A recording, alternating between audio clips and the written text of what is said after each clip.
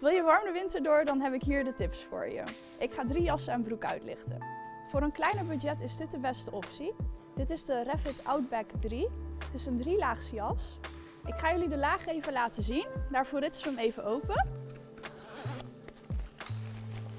Zoals je nu duidelijk kan zien is de twee lagen die erin zitten. Dus de warmtelaag en de regenlaag en natuurlijk de jas zelf. Dat maakt hem drielaags. De warmtelaag houdt je natuurlijk warm. De regenlaag die houdt de regen tegen. Dit houdt in dat de jas zelf nat wordt en tegen de regenlaag aankomt. De lagen kunnen er afzonderlijk uit. Dat kan door middel van de rits en de drukknoopjes. Ze kunnen ook weer afzonderlijk van elkaar erin. Dus of alleen de warmtelaag en de regenlaag. Aan deze kant heb ik ze er al even uitgehaald en kan je zien hoe het eruit ziet als het eruit is. Dus dit is de regenlaag en de warmtelaag die erin zit. Mocht het nou een wat warmere winterdag zijn, dan zit er ook genoeg ventilatie in. Er zit namelijk hier een rits die je open kan doen en het flapje kan omslaan. En in de mouw zit ook een ventilatierits. Bij de jas hoort ook een bijpassende broek. Deze is ook drielaags, heeft ventilatiemogelijkheden en heeft zakken op de voorkant. Rij je af en toe een dag in de winter, dan is deze set geschikt. Mede dankzij de uitneembare liners is deze jas warm genoeg. Mocht je nou wat vaker in de winter rijden, dan heb ik de volgende set. Dit is de Risha Cyclone Gore-Tex jas. Deze jas heeft een Gore-Tex membraan. Gore-Tex garandeert waterdichtheid en is ademend. Deze jas heeft een vast regenmembraan, maar een uitneembare thermoliner.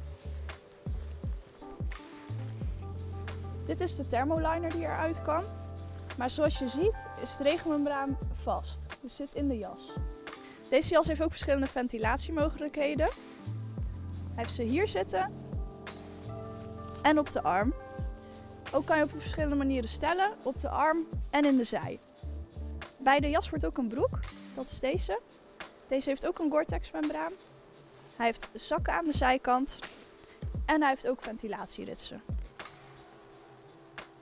Mocht je nou een doorgewinterde motorrijder zijn, dan hebben wij hier de Revit Poseidon 2.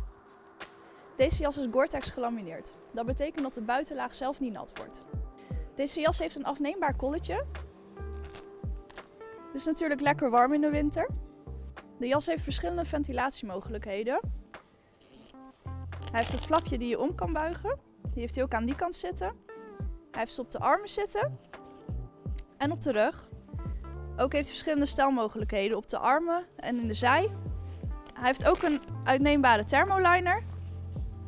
Het is natuurlijk lekker warm in de winter.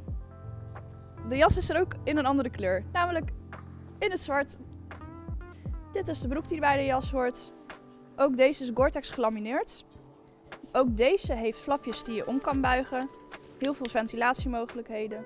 En natuurlijk, de broek is er ook in het zwart.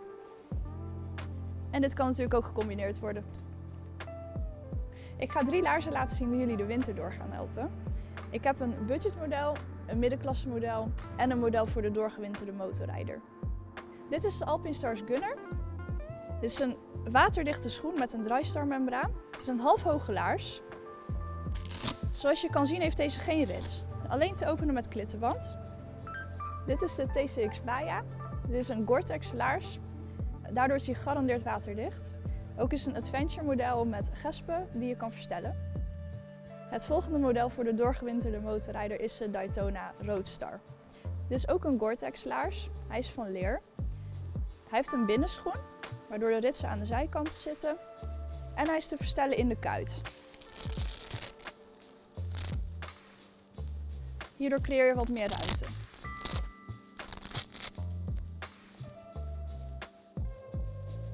Vergeet hierbij niet dat passen een must is om te kijken welke laars best bij jou past. Ik ga jullie nu drie handschoenen laten zien. De eerste is de Danese Tempest. Deze heeft een die-druimmembraan wat hem wel waterdicht maakt. Hij heeft ook harde knokkels en hij is wat langer. Dus fijn over de jas te dragen, waardoor er geen wind in je jas komt. De tweede is de Risha Cold Protect. Dit is een hele dikke handschoen met een dikke wintervoering. Deze heeft Gore-Tex, wat hij dus gegarandeerd waterdicht maakt. En hij heeft ook geen harde knokkels. Daardoor voelt hij wat soepeler aan. Ook is deze deels leer. Voor de doorgewinterde motorrijder heb ik de verwarmde handschoen. Deze variant is helemaal van leer met harde knokkels. Hij is ook wat langer en in te stellen in verschillende warmtestanden.